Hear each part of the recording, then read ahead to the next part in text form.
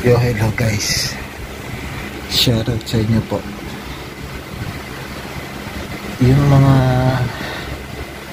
hindi pa po nagpapabakuna dyan, eh, shoutout sa inyo. Magpabakuna, magpabakuna na po kayo. Para hindi po kayo matulad sa amin ng aming partner. Ang partner na si Pama.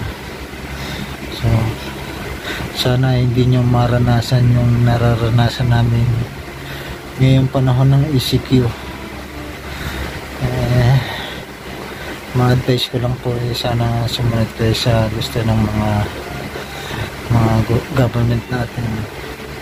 Magpabakuna na po kayo. Yung mga hindi pa po nagpapabaksin dyan pabaksin na po kayo. Pag po kayong tumulad sa amin na full vaccinated na po kami. Pero ito pa rin po ang nararanasan namin. Napakahirap guys. Sana magpabakuna na kayo. Pakita ko sa inyo kung anong ginagawa namin guys. Napakahirap talaga. Ito po ang nararanasan namin dito ngayon ng partner ko na si Paolo. Ayan.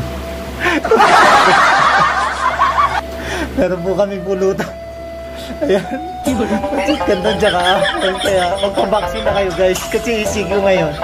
Sumunod na kayo. Ayan na yun. Sipa.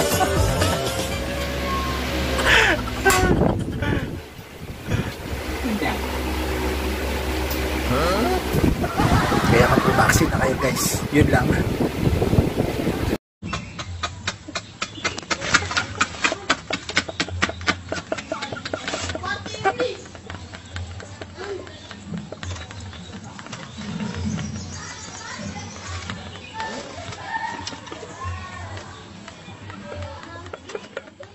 to make me click.